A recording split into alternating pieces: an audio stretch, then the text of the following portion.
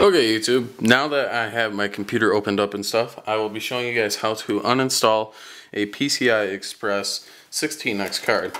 Um, first you're going to want to remove any shims if you need to, which I do on my case. So I'm going to take off these side plates and stuff. And I'm going to unscrew the screw in the back, which I always keep there to make sure the card will be secure. On small little cards like this, you don't really need to worry about it too much because they're small. And I just did that totally wrong. There will always be a lever right here. Um, some push out, some push down. And it just helps eject the card. That's what this hook here is for. And as you've seen, it was very, very easy to do. And I will do the same with this one.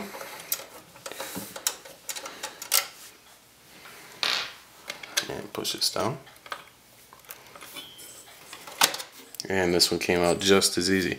These are ATI Radeon HD 5450s. Um, they're a decent card for if you just somebody that wants to sit at their computer for a little while. And I obviously am upgrading to the GTX 560, which should extend across most of my case. Let's see how far it goes. Make sure it doesn't interfere with anything.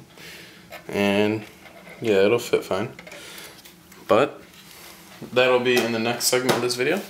So we will be right back. Okay YouTube, in the last segment I showed you guys how to remove the card. Well now I'm showing you guys how to actually install the card. I'm going to ground myself by touching my power supply.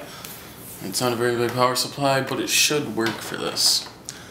Um, here's the card one last time. And I removed all the shims that are needed for this.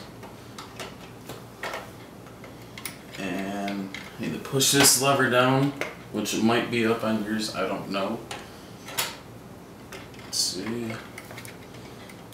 And I just noticed uh, the cables that they sent me for the six pin connectors, they uh,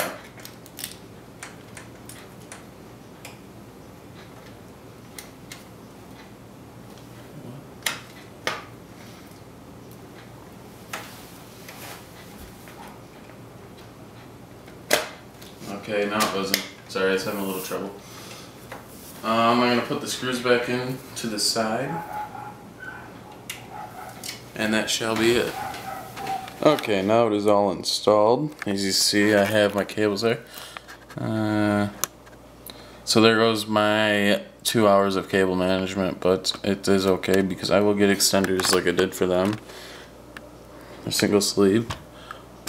Even though they're kind of expensive for what they actually are. They're like 10 bucks for just that one. And ten, another 10 bucks for that one.